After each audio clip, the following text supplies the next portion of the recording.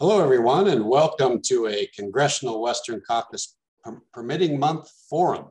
Today, we're joined by my friend and colleague from the great state of North Dakota, Mr. Kelly Armstrong. Throughout the month of March, the Congressional Western Caucus members are highlighting examples of broken permitting processes that, that impede our ability in rural America to make progress on infrastructure projects, on energy development, on conservation, land management, and many more things. It should be no surprise that permitting processes have grown outdated and out of control. What should be a simple environmental review, a process that can add years, if not decades, and millions of dollars in costs to projects across the country.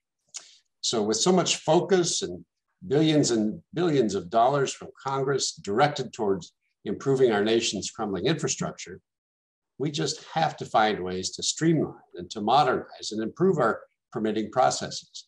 We've got to cut through that old bureaucratic red tape and reduce regulatory, regulatory burdens on, on rural America. A few weeks ago, Congressman Armstrong brought to our attention a highway in North Dakota while speaking at one of our Western Caucus member meetings. And I'm looking to looking forward to hearing more about this highway today and how its permitting challenges at nearly every level of government between federal, state, county, and even tribal levels uh, provide a demonstration of just how broken our processes are. And this is not limited to just North Dakota, let me tell you. This example, though, is unique to North Dakota, right? but I really think it illustrates just how bogged down projects like this can get all because of duplicative, burdensome permitting. So today we're going to spend some time highlighting the different permitting challenges in North Dakota, impacting their farmers, energy producers, businesses, and landowners, those, all those challenges that they all face.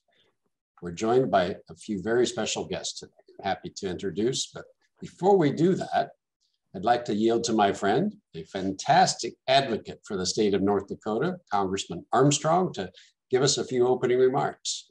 Sir? I, I appreciate appreciate it, Dan, and I appreciate the letter you just sent regarding waters of the U.S. and everybody in North Dakota will really appreciate that. It's a fight that we have um, been out front of many, many years, and I'm super excited because I get to do this with three of my very good friends.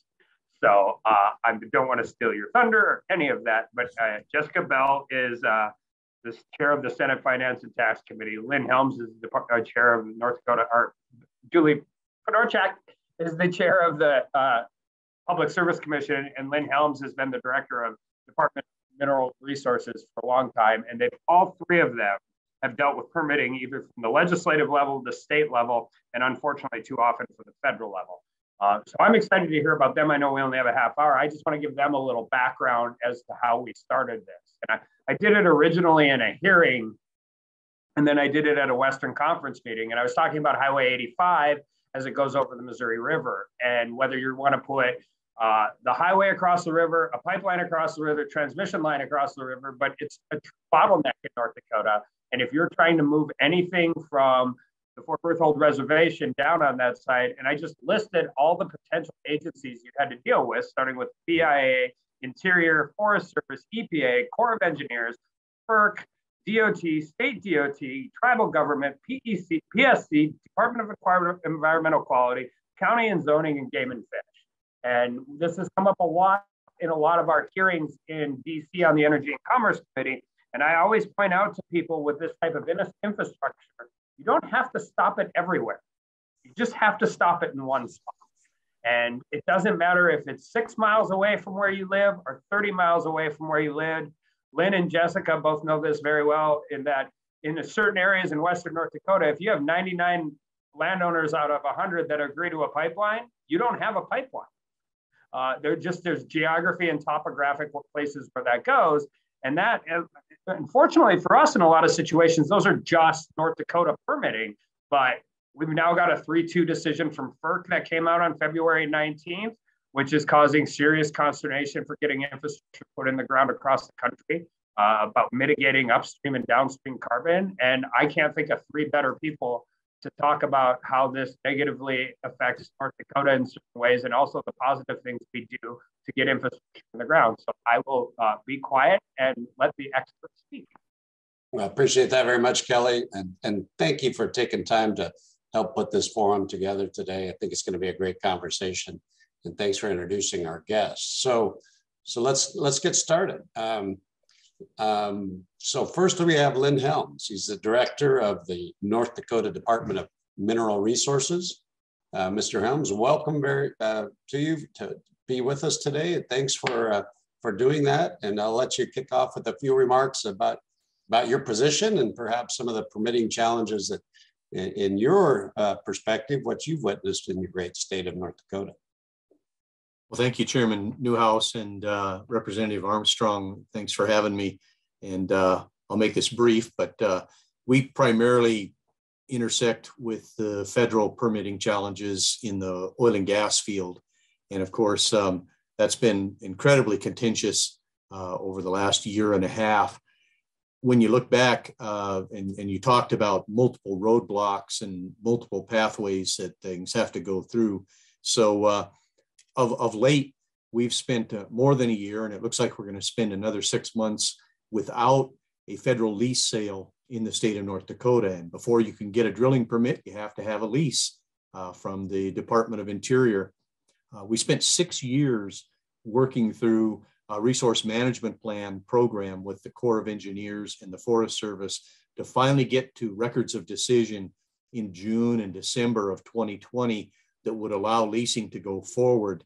Um, we, we virtually had no leases issued during that time period.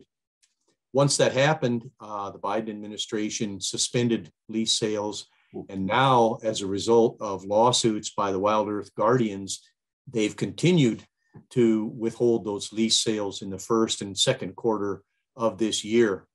We have over a thousand wells that could be drilled if they would move forward on the 240 some tracks that have been nominated and cleared by these, those resource management plans. You have to ask why, after the Corps of Engineers and the Forest Service went through all of that NEPA process, uh, that the Department of Interior then decides to do its own environmental assessment and allow a protest period and then suspend those sales because of litigation by a group called Wild Earth Guardians, which isn't about the North Dakota leases at all. It's about Wyoming and Montana leases.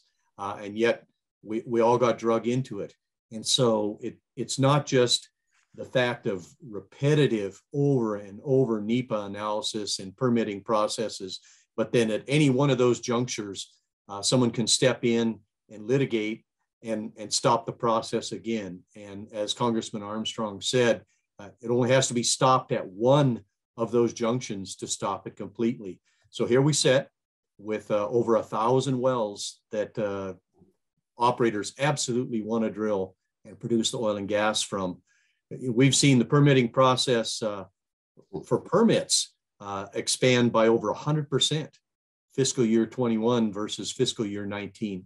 Uh, and so it's just at every junction, we, we've seen the permitting process get bogged down by litigation and repeated, repeated, repeated NEPA analysis. Thank you very much for, for hearing what I have to say. Thank you, Mr. Helms. I appreciate those remarks. And uh, wow, uh, you're absolutely right. So many different things that uh, stand in the way of our development of our rural areas and our communities. Uh, next, we have very happy to uh, have with us a state senator, senator from the great state of North Dakota, um, Jessica Bell. And so Senator Bell, thank you for being with us. I'll, I'll turn the floor over to you. Well, thank you so much for having me. Uh, regulations are one of my favorite things to talk about because uh, there's so much material there. Uh, so I've been serving in the legislature for a decade now, um, and I started in 2013. And during that time period, we dealt with a lot of the challenges in the Energy Committee uh, that we were facing uh, as we expanded the development of the Bakken oil field. Uh, so we've got a lot of experience in at the state level, where I think a lot of um, uh, where is the best place for us to be regulating our industry, both there and at the local level. Um, Lynn talked a lot about what happens when the feds get involved, and it usually does just overcomplicate things. And we we see that in committee. I also am an environmental manager for NACCO Natural Resources, a company that owns and operates three coal mines here in North Dakota and a couple of other mining operations across the United States. One of the things that I do in my day job, we've got a true citizen legislature here in North Dakota, is I deal with federal permitting and federal leasing um, for coal tracks. And we've faced moratoriums in the past um, and other hurdles but throughout that NEPA process, uh, which under the Biden administration, we're actually allowed to be able to continue any leases that we had applied for previously and to continue the process to try and obtain those leases. The problem that we have is the process is extremely slow. Washington bureaucrats ensure that at every step we face hurdle after hurdle after hurdle. And so um, one of the, the biggest black holes that our applications will fall in is the solicitor's office in DOI out in DC. A document will go there and um, we might not see it again for a very long time and lose control over everything that's been included in our NEPA analysis. Uh, even just this morning, the courts reversed a decision that they had previously made on the social cost of carbon. It was, we were told it couldn't be included in our lease applications. And now today we're being told it has to be included in our lease application. And so it's this ping pong of applications once they get in the queue uh, that takes anywhere um, at a minimum of five years to get through the process. So um, I'm an advocate for local and state control of regulations. We're the people who live here, so we're the ones who know how to do it best. Um, and so, uh, with that, I'll turn it back over to you um, and we'll continue our discussion. Well, thank you very much, Senator Bell. Appreciate you being with us today.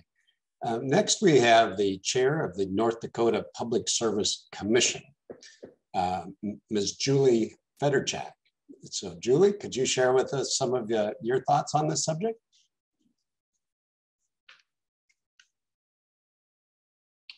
I think you're not unmuted yet, Julie. There Sorry, All right, thank you, Chairman Newhouse. I appreciate the invitation to be here today. Um, just a tiny bit of background on the North Dakota Public Service Commission. We regulate the investor-owned utilities in our state. Um, we engage on a regular basis with both the regional transmission organizations that serve our state, that includes MISO and SPP. Um, we also are a permitting agency. We permit energy infrastructure, including hazardous liquid transmission pipelines like crude oil, natural gas, and uh, CO2 lines, as well as electric transmission lines and energy generation, including wind farms, solar farms, and natural gas facilities. And then we also oversee our state's um, coal mining and reclamation. So we have our hands in a lot of the different sectors and in our state's energy industry, both the fossil fuel and the renewable sectors. And we have a lot of both in North Dakota. Um, I was most recently president of the organization of MISO states. So I've seen, uh, I've had a front row seat in a lot of the issues um, uh, of the energy trans transformation that is occurring in our country. And there is a major energy transformation occurring in our energy industries across the United States. And many people are really excited about that. Um, some of them are excited because of the environmental benefits. Uh, some of are excited because they love solving problems, and others are excited because they're making a lot of money. And then some fall into all three categories of those. Um, but no matter how where you sit on this transformation, it is going to occur. There is no denying that. And what I believe is that leaders at all levels, and I would emphasize especially leaders at the congressional le uh, level, uh, need to be focusing on is that during this transition, we focus our priority on reliability and affordability. Those two things need to drive this transformation. They need to be priorities number one and priorities number two.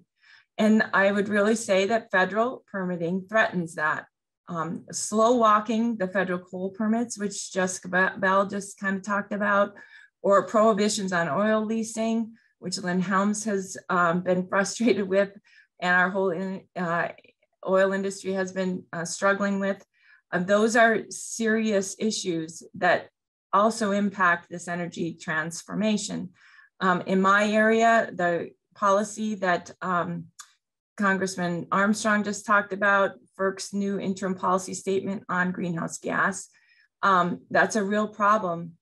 And it, it attempts to create certainty by creating a new scenario for regulating greenhouse gas emissions, both upstream and downstreams, um, on a case by case basis. And so you can't create certainty on a case by case basis. That's just like counter, you know, those two goals run against each other.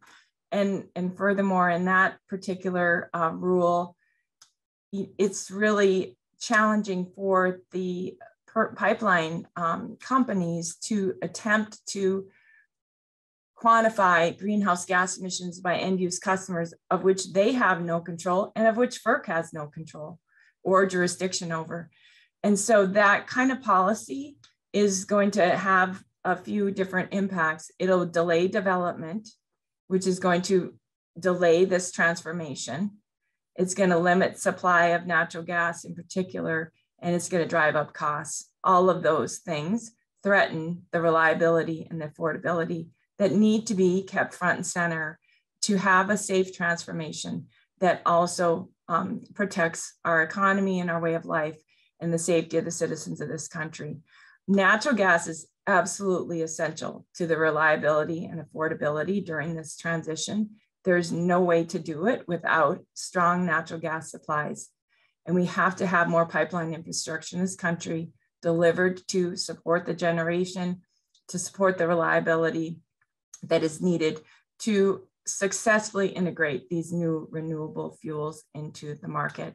So uh, be it natural gas or uh, carbon capture storage um, used on, on top of the uh, coal-fired generation, those are all the solutions that we have to provide a pathway through, through the federal uh, policies to ensure that these types of fuels and these types of um, on-demand generation resources are available to keep our system safe, strong, and affordable. So I'd be happy to talk about more specifics, but those are some of the big things on my mind as it relates to this transformation and the federal permitting that's going to make it possible. Oh, thank you very much, Julie. Appreciate that. I hope I didn't butcher your last name too bad. you got it. It's good. Thanks. And thank all of you. You, you all make great points, uh, very important points. Um, you know, the challenges, like I said before, that I think you're facing in North Dakota, um, even though you've got some unique situations. Uh, but I think a lot of those challenges are reflected throughout rural communities all over the country. And so that's why it's, I, I think it's important to hear from you and what you're seeing and how you're dealing with them. So I appreciate all of your comments. So let, us um, let me ask a few questions if I could. I'm going to start with uh, Congressman Armstrong. Uh, so Kelly, and you, you brought this subject up, so that's why I'm thinking about it. But uh, the waters of the United States, which, uh, I guess, what can we say about that? You know, the, the ambiguity surrounding its definition truly has uh, plagued rural America for decades. I, I believe it's it could be termed the biggest over regulatory overreach our country's ever seen. Uh, could you could you talk about some of the challenges that, from your pers your perspective, you've you've seen in North Dakota regarding water permitting and, and issues related to WOTUS? Absolutely, I, and I'll start with if you look at a map under the most. Uh, what I would say is realistic view the federal government will take of waters of the United States. 90% of North Dakota will fall under the under waters of the United States. And I don't think anybody other than true ideologues would believe that a stock dam 300 miles federally navigated waterway should be part of federal federal control and federal regulation. And when you're talking about everything that these three just talked about, I also want to talk about the positive side of this, why we're so frustrated, why we're so terrified, why our former attorney general was the tip of the spear on the injunctions related to uh, WOTUS because you have two regulators, and at the time I was a state senator, and at the time Senator Bell was uh, the chair of the Natural Resource Committee in North Dakota in the middle of an oil boom. We were putting pipe in the ground, rewriting policies uh, like on the fly in 2013 and 2015. It's really hard for people who weren't here to recognize the speed and just the capacity for growth that we had. And we had two regulators. We didn't always agree, but we got in rooms, we worked this out, and we got this stuff and it done in a reasonable dynamic fashion that protected the environment, protected the ratepayer, and also allowed for us to expand at a level we would have just simply never been able to do if the federal government was involved in that process. We'd still be waiting on permits. And when you're talking about waters of the United States and the two biggest industries from North Dakota, which are agriculture and energy, we cannot have the federal government having primacy on 90% of the geographic area of North Dakota. I, Dan, I can't overemphasize this enough. It would it would destroy our state. that is just the truth.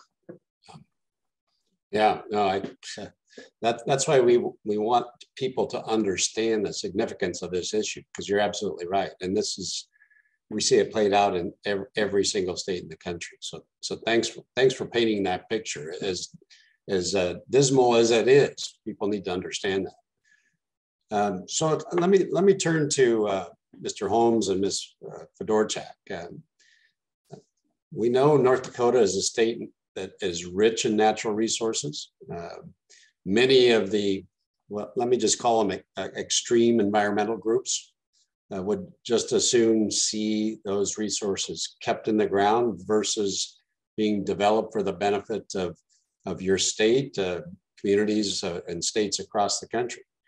Um, so Mr. Helms first, and, and then uh, maybe Ms. Fedorchak, you could chime in as well. Can you talk about the difficulties uh, the Department of Mineral Resources has faced, as well as the uh, Public Service Commission, when legal challenges are brought from these groups and and uh, tell us how it impacts the work that you do and what you're responsible for. Thank you, Chairman Newhouse. Um, I kind of alluded to it in my opening comments, but uh, we're in the middle of this pitched battle over oil and gas leasing in the Montana Dakotas. And uh, like I said, we've got over a thousand wells that are being held up by the lack of leasing and permitting on federal lands in North Dakota. That seems like an extreme amount, but what you have to understand is the way land ownership is situated in North Dakota a tract as small as five acres can hold up the drilling of a horizontal well and suspend the, the production of minerals on state and private owned minerals uh, that are 92% uh, of the mineral estate. So uh, this leasing program uh, has become a ping pong ball tossed back and forth by Department of Interior as a result of challenges by groups like Wild Earth Guardians to the NEPA process, uh, which was fully uh, vetted by the US Forest Service and the US Army Corps of Engineers. But now they're challenging it when it reaches the, uh, the gate at the Department of Interior. And it has held up the leasing of these minerals for 18 months now, and it looks like there's no end in sight. Another example is uh, our challenge to the venting and flaring rules, the waste rules uh, that came out under the Obama administration. Uh, we won that lawsuit in federal court in Wyoming. Uh, groups then challenged that same rule in a California court and won on their side. So there are two competing federal court rulings uh, as a result. Uh, they've never been consolidated, they've never been settled, and the litigation just continues to drag on. we're now six years into that and no end in sight. So the, the ability to challenge these things in multiple court venues and to file multiple challenges over the years uh, can drag out in, into decades uh, of delay when our nation needs this industry, uh, needs this energy today. Julie, anything you'd like to add? Sure, I would just um, highlight two, two sort of prominent cases that have impacted us. Our permits themselves have not been challenged by these groups, but the work that we've done and its connection to other agencies. So uh, on Dakota Access Pipeline, uh, the Public Service Commission in North Dakota permitted that 300 mile route through North Dakota.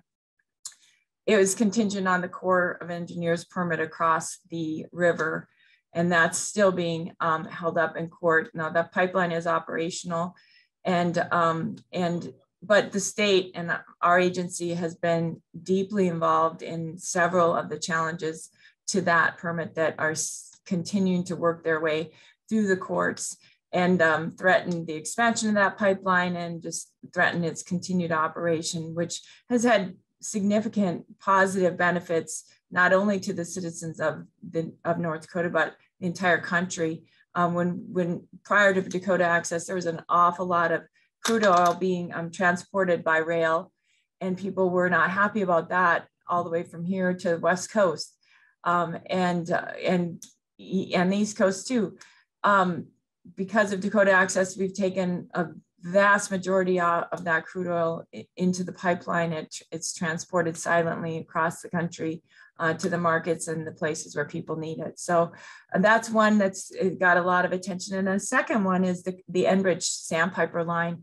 It was a line that we permitted in the North Dakota um, Public Service Commission probably back in 2013 or 2014. And it was to take crude oil from the Bakken all the way to Duluth in um, Minnesota and, and to other markets beyond that.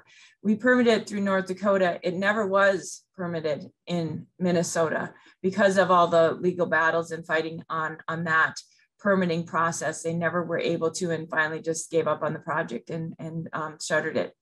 And so, um, and then the replacement line in Minnesota is still kind of um, working itself through the process, the regulatory process. So, you know, on these crude oil pipelines, the permitting challenges um, have have just been endless, and uh, they add a lot of cost, they add a lot of delay, and they they certainly provide a chilling effect on any future big pipeline development for future developers. Yeah, thank you very much for that. Appreciate it. Let me turn to our senator, um, Senator Bell. um, as a state legislator and I understand a business leader, um, you have some experience and perspective that maybe will help us to round out our permitted, permitting lens here today. Could you talk a little bit about the importance of an efficient permitting system from a business perspective and how we can achieve that while still keeping rules and regulations in place to address the needs of the of environmental stewardship uh, from from a legislative perspective. You know, we want to have a good balance here. Any thoughts there, Senator Bell? Um, yes, thank you, Chairman Newhouse. And I think the groundwork that we've laid in the uh, North Dakota legislature and um, regulatory regime over the past decade uh, for carbon capture utilization and storage is probably the best example to give um, to talk about regulatory certainty and how that affects investments that businesses are able to make. Um, Mr. Helms has done a fabulous job of ensuring that we have every last piece of regulatory um, processes in place so that we can utilize our geologic jackpot that we have here in North Dakota um, to store permanently carbon dioxide and also be able to potentially use it for enhanced oil recovery in the oil field.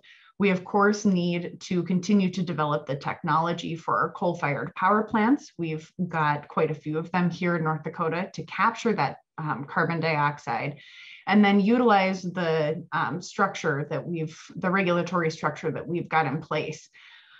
Um, we've done a great job here. We've taken all of the um, the primacy that we can from the feds so that we can operate here at the state level and do as much permitting locally here as we can. But the problem that we've run into is um, when other programs such as regional haze impact the ability of companies to move forward with projects like CCUS. Um, regional haze, of course, is based on visibility um, improvements over a period of time. And we're just entering into round two um, state, uh, a, a state plan, state implementation plan here in North Dakota. Uh, we anticipate that that plan will not require investments on any of our coal-fired facilities because uh, there are no improvements that they can make on the ground that would actually improve visibility here in North Dakota. Um, but we will be sending that state implementation plan up to EPA for approval. And um, I won't try and guess what it is that the Biden administration's EPA is going to do, but I do anticipate that there will be court challenges related to that. Now, as that plays out in the court system and drags on over a period of time, it makes it incredibly difficult for investors to make investments in CCUS technology on our facilities because they cannot anticipate what the federal government is going to tell them they need to do on a different semi-related program. So um, that certainty uh, and that cooperation between the federal government and the state government uh, boils down to companies making big investments in our communities and our state and our environment as we look to the future because we know we need to invest in carbon capture and we want to and we're headed that direction. Um, but continued um, different messages coming from the federal government make that really really difficult for our private business community. Absolutely. Thank you. Thank you for that. Um, so we're, we're drawing near to the close of our forum for today. Um, I want to give each of you an opportunity maybe to leave some lasting thoughts with our with our audience if you have anything more you'd like to share. So uh, can we start with you, uh, Mr. Armstrong, uh, Con Congressman Armstrong? Absolutely. Uh, I think one of the reasons I get so frustrated out here is because I know that there are really smart people in North Dakota. You are talking to three of whoever is watching this right now, you've had the luxury of having three of the experts that have absolutely lived this in some of the highest intensity growth that any state has ever seen in this industry. But you know what else? We all live there. We all raise children there. We love the outdoors. If you don't love the outdoors, living in North Dakota is not really exactly where it is. It's not an industrial waste site. We protect our air, we protect our water, and they'll all be too nice to say it, but their answer really is if you keep the federal government the hell out of the way, everything would work a lot better. So I'm so excited to have these three and just thank you all for taking time out of your day to do it. Great, great, Kelly. Thanks for those thoughts. That's what people need to hear. And it's working well in North Dakota. Uh, and we appreciate them sharing.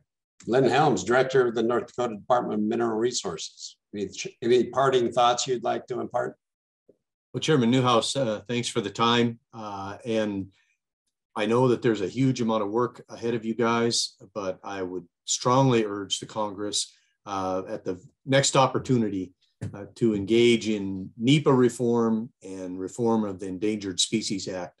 Uh, those two laws uh, are 50 years old and they're in desperate need of being updated uh, because the federal bureaucrats uh, and the radical environmental organizations have figured out how to abuse them and interfere with every single infrastructure energy project that's brought forth in the country. I appreciate that. They're being weaponized and contrary uh, to the in original intended purpose. So I think that's a great point. So chair of the North Dakota Public Service Commission, Julie Fedorchak. Thank you, Chair Newhouse. I would just say that uh, North Dakota has a, a lot of solutions to offer to our country's energy problems. And so um, please give us a chance to help solve those solutions or solve those problems. We have great solutions. We're working on it from every single angle. And the answer is not going to be um, more federal oversight, more federal responsibility through FERC or permitting through these federal agencies. If you want it done quickly and thoroughly and responsibly, let the states do it. We're accountable and close to the people, and they'll let us know when we've done it wrong. So please uh, give us more authority, not less. Thank you. Great point. Great point. Thank you, Julie. Thanks for being with us.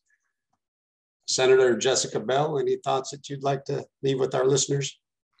Uh, well, I think the three previous comments, I, I, have to agree wholeheartedly with them. I'm a ranch kid from Western North Dakota. I grew up here. I want my parents and my family to continue with our fifth generation ranching operation um, and to keep our air and water clean. I want it more than anybody else possibly could. And so we, um, when we are developing things here, um, one of the things that I've been thinking about a lot is I flew out of DC last week and I looked down at all of the population center and the development there.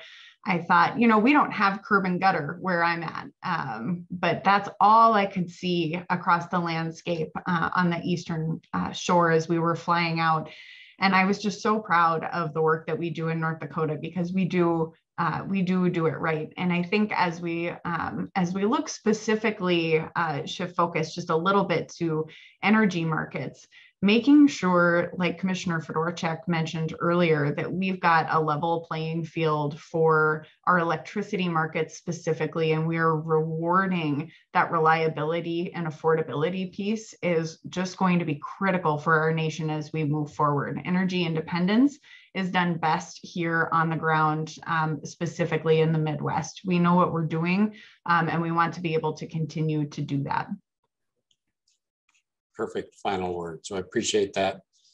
Um, and thank you all. Thank you for being with us uh, on our um, Congressional Western Caucus Permitting Month Forum. You guys have really brought a lot of good ideas to the table, and I'm very proud to, to hear them as chairman of the, of the Western Caucus and, help elevate your voices to people throughout the country and here in Washington, D.C. So appreciate very much your participation and, and uh, uh, North Dakota is an awesome place. You've got a lot of great things there. And I would agree with Congressman Armstrong, some very, very bright people doing some great things. So thank you for being with us.